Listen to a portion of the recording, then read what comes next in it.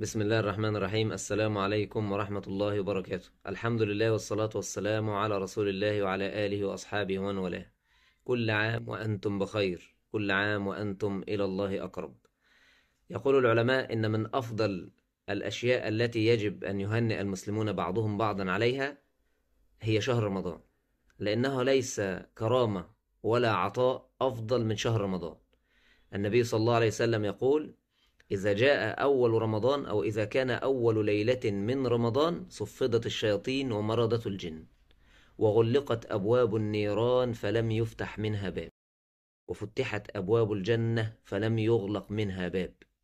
ونادى مناد يا باغي الخير أقبل ويا باغي الشر أقصر. ولله عتقاء من النار وذلك كل ليلة. تخيل العطاءات ديت. وما نبقاش نهني بعضنا عليها. والله من أعظم العطاءات إن أبواب الجنة كلها مفتحة. كأن الله سبحانه وتعالى يقول لأهل الطاعة أقبلوا أقبلوا. أبواب الجنة مفتحة. تستطيعون أن تدخلوا من أبواب الجنة من حيث شئتم. من أي باب؟ من باب الصلاة من باب الصيام من باب القرآن من باب الصدقات من باب صلة الأرحام.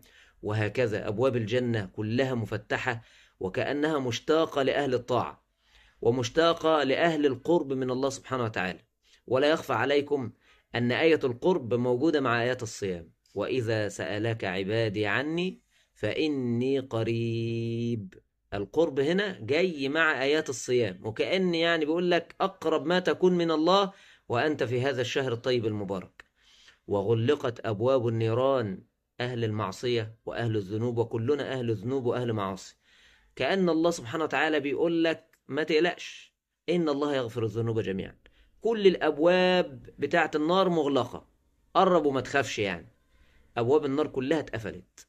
الموضوع مفتوح لك والله سبحانه وتعالى يبسط يده إليك. إن الله يبسط يده بالليل ليتوب مسيء النهار ويبسط يده بالنهار ليتوب مسيء الليل.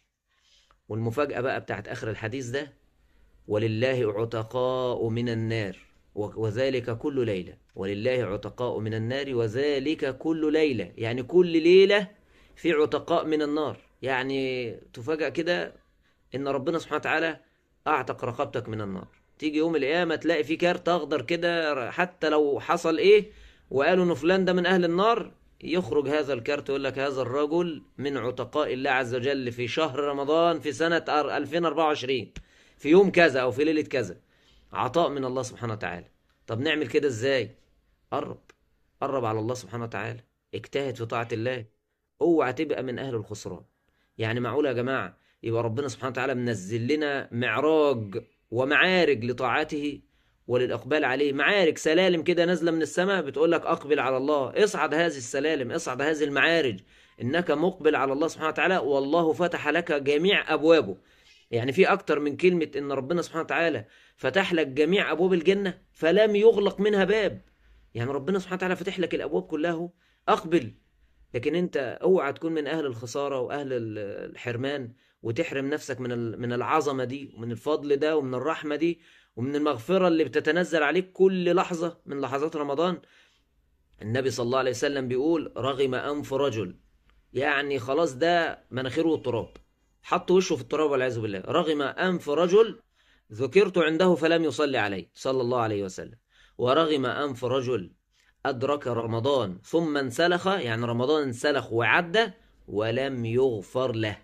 يعني إزاي يا عم الحاج؟ رمضان يجي لك 30 يوم ب 30 ليلة وربنا ما يغفرلكش وكل أسباب المغفرة موجودة. كل أسباب المغفرة مفتوحة قدامك. سلالم مباشرة معارج إلى الله سبحانه وتعالى. أبواب الجنة كلها مفتحة. الأعمال والحسنات مضاعفة. مغفرة الله بتتنزل على عباده. رحمات الله عز وجل تتنزل على عباده. أقل شيء ممكن تعمله ممكن يكون سبب في أن ربنا يعتق رقبتك من النار. وبعد كده تقول لي لا أصل أنا ما كنتش من أهل الربح والفوز مع الله سبحانه وتعالى. لا ده أنا كنت مشغول بحاجات تانية. مشغول بالحاجات اللي الناس بت بتحاول تشغلك بها عن ربنا. بقى مسلسلات وفوازير و... وصحبة سيئة بتاخدك بعيد عن الله. كل ده يا جماعة لازم العلائق دي تقطعها إذا كنت أنت فعلا عايز تقبل على الله. إذا كان ليك ذنوب وكلنا أصحاب ذنوب وعايز ربنا يغفر لك إن الله يغفر الذنوب جميعا. إنه هو الغفور الرحيم. أوعى تغفل عن هذا الأمر وتبقى من الخسر من الخسرانين أو من أهل الخسارة. خليك من أهل الربح. والموضوع مضمون والله العظيم أقسم بالله الموضوع ده مضمون عند الله عز وجل إن أنت تكون من أهل الفوز ومن أهل الطاعة ومن أهل العتق من النار. والله الموضوع ده مضمون. لأن طالما أن ربنا فتح لك أبواب الجنة طالما ربنا سبحانه وتعالى جعل لك أسباب للمغفرة وأسباب للرحمة يبقى هيرحمك. طالما ربنا فتح الباب يبقى ربنا هيقبلك. بأقل شيء والله. بس أقبل أنت وأصلح نيتك مع الله وتوب إلى الله. نسأل الله تعالى أن نكون من أهل الفوز. وأن نكون من أهل الربحان لا من أهل الخسران. اللهم إنا نسألك أن تجعلنا من أهل القبول في شهر رمضان ونسألك يا أرحم الراحمين أن نكون من عتقائك من النار وذلك كل ليلة اللهم أمين والسلام عليكم ورحمة الله وبركاته.